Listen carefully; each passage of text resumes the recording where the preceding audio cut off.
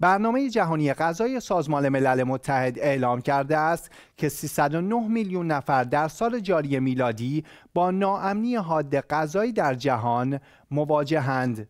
در ادامه به گزارشی که همکارم در این زمینه تهیه نموده توجه فرمایید.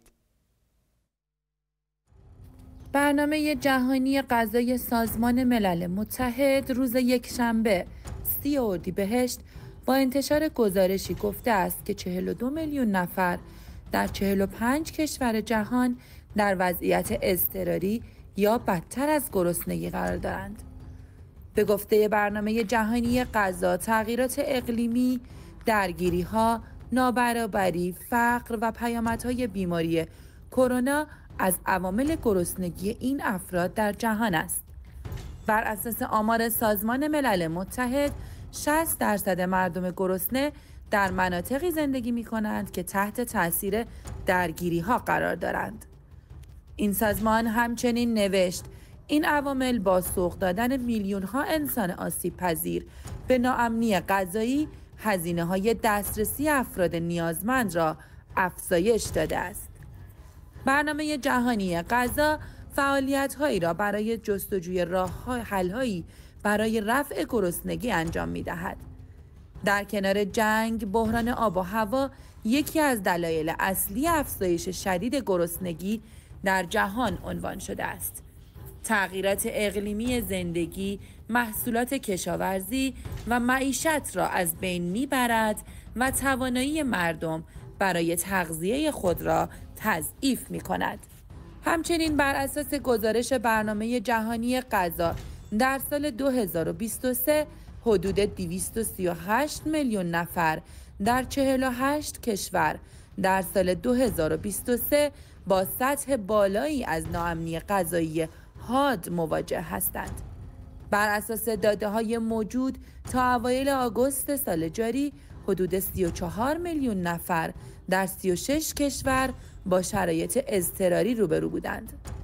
در این حال 128 میلیون و 600 هزار نفر در چهار کشور با شرایط فاجعه آمیز مواجهند. یافته های گزارش مذکور نشان می دهند سودان جنوبی، یمن، افغانستان، آفریقای مرکزی و هاییتی در بدترین شرایط قرار دارند.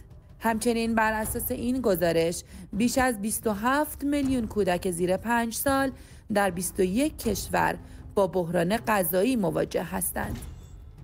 رشد سطوح ناامنی غذایی هات در سال 2023 در جهان به دلیل بحرانهای طولانی مدت غذایی و شکهای جدید مانند تغییرات اقلیمی همچنان ادامه دارد. افغانستان، جمهوری دموکراتیک کنگو، اتیوپی، هایتی، نیجریه شمالی، سودان جنوبی، سودان، سوریه، یمن و زیمبابوه از کشورهایی هستند که در سطح اضطرار گرسنگی قرار دارند. در این ده کشور بیش از هفت میلیون کودک در وضعیت غذایی استرس زندگی می کنند و 32 میلیون نفر در معرض خطر ابتلا به راشیتیسم هستند. اخیرا سازمان ملل در گزارشی گفت که 783 میلیون نفر در سراسر جهان گرسنه‌اند. برای صحبت بیشتر در این باره آرش هنرور شجاعی پژوهشگر دینی استاد دانشگاه فعال و تحلیلگر سیاسی از برلین با ما همراه هستند.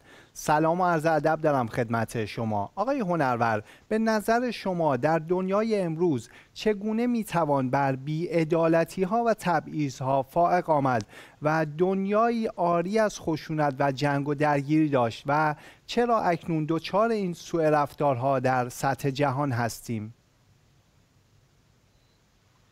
سلام و عرض ادب دارم خدمت شما و همه دستمرکاران و بینندگان و شنوندگان گرامی. من می‌خوام با ازتون صحبت رو با یک روایت نبوی شروع کنم که از کودکی از پدرم شنیدم. که پیامبر میفرماید که نعمتان مچولتان لا تعرفان الا بعد فقدهما از صحت و الامان یعنی سلامتی و امنیت دو تا نعمتی هم که مجهول هستن چون تنها زمانی قدرشون دونسته میشه که اونها رو انسان از دست میده. در حالی که ببینید در جهان و روانشناسی اجتماعی به یک امر پذیرفته شده است که نیازهای اولیه انسان از قبیل خوراک پوشاک و حق مسکن به اصطلاح نیازهایی که در پایین به اصطلاح حرم مزلو قرار می‌گیره. و تا موقعی که عذرخواهی می‌کنم.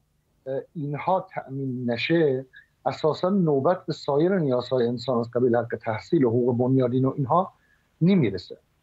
و به خاطر همین در جهان جدید در جهان بعد از حداقل جنگ جهانی دوم اکثر کشورها یک رویه سوسیالی رو اتخاذ کردن که بر اساس اون به این نیازهای اولیه تامین بشه. و یک امری است که باید دولت ها و به اصطلاح سازمان های جهانی و این جی او ها اون رو سعی کنن تامین کنن در درجه اول.